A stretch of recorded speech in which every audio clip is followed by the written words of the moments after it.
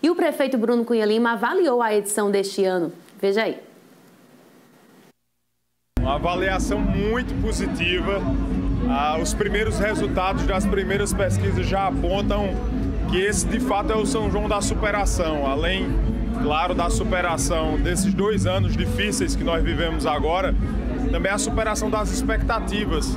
É, nós conseguimos superar os recordes de público né, com a presença do público aqui no Parque do Povo.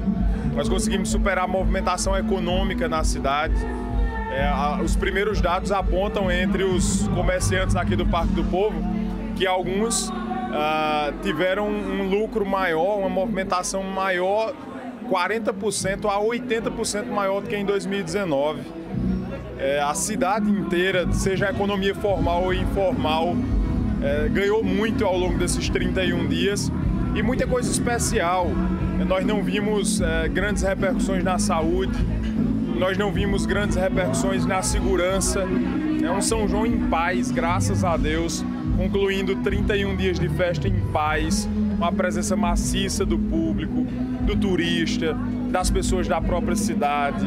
Então a, fica o peso da responsabilidade para que em 2023 a gente consiga fazer, além da edição especial dos 40 anos do maior São João do mundo, fazer a maior de todas as edições.